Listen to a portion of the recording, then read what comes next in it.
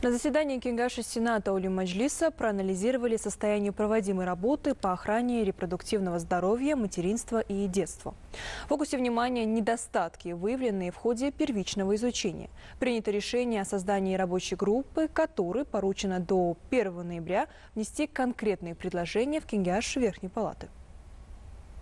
Уровень развития службы охраны материнства и детства, оказания медицинской помощи женщинам репродуктивного возраста и детям – важный индикатор социального благополучия общества. Анализ эффективности соответствующей работы, проводимой в стране, показывает, что специализированная, высокотехнологичная медицинская помощь оказывается 227 родильными учреждениями республики, более 9 миллионам женщин детородного возраста. 238 детских лечебно-профилактических учреждений обслуживают свыше 11 миллионов детей до 18 лет. Отдельное внимание уделяется мониторингу состояния здоровья женщин.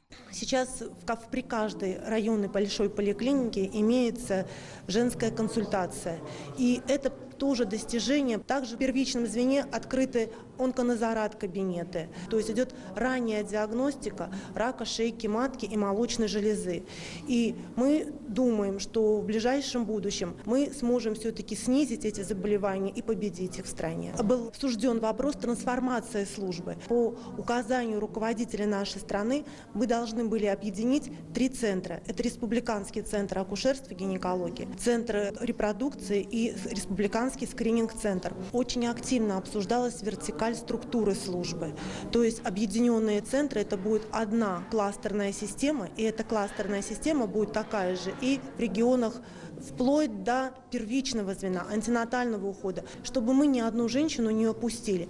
Наряду с плюсами в данной работе озвученные проблемы обнаружены в ходе первичного изучения, проведенного сенаторами. Речь шла о показателях младенческой смертности, недостатках в процессе реализации государственной программы, раннего выявления врожденных и наследственных заболеваний у детей на 2018-2022 годы.